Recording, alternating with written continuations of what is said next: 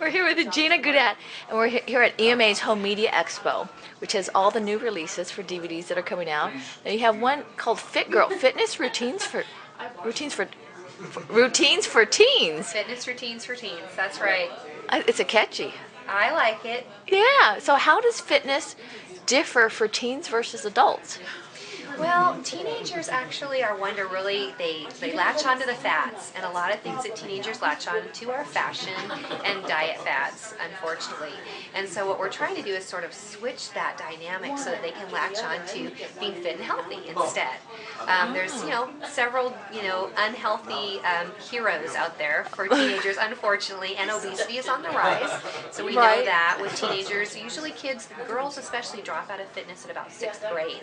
They do? Yeah, unfortunately, because there's cuts and they go into junior high, middle school, and high school, and a lot of our girls stop doing sports, which is unfortunate because Okay. they should still be able to enjoy that for life without the win or lose team concept. And a lot of girls who are in ballet and dance, they drop out at that point too. And hip hop is so big and fun right now that Yeah. there's great ways that they can work out with their friends.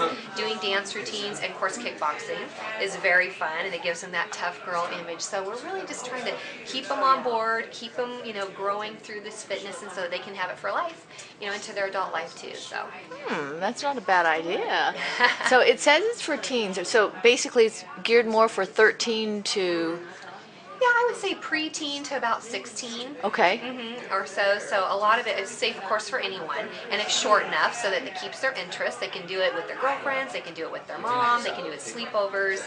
Cheerleaders are doing it, drill team. Really? Girl- yeah, Girl Scout groups are doing it, and it's great for um, all kinds of retreats and.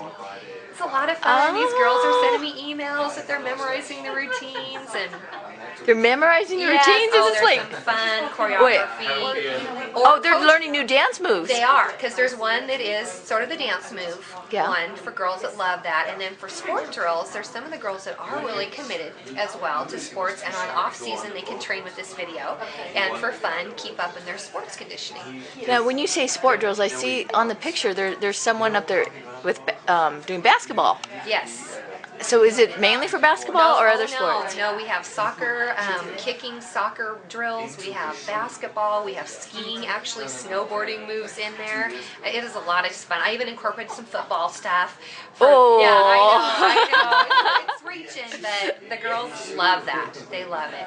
Hmm, now, how does this compare? I know it's a different format to something like Dance Dance Revolution. Mm, oh, well, that's yeah, that's. yeah, well, the dance move it's simple. I mean, anyone can Okay. get it. It's not real complicated. Oh, which but- means you don't have to get the whole game console and all no, of that. no, no, no, you don't have to get all that. No, and you can actually stop and rewind, you know, and learn it as you want. You know, slow, slow down the pace so that you can get it. And kickboxing is just, it is so fun. You have kickboxing on here? Oh yeah, the kids they love the kickboxing.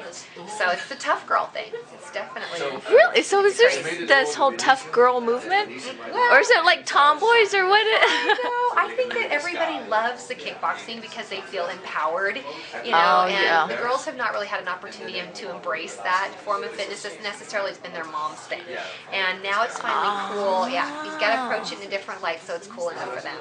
oh, that's pretty cool. Yeah, yeah. Plus, you want to build muscle. We want to get rid of that whole concept of the anorexic girl being just so skinny, and so this really promotes a lot of strength training.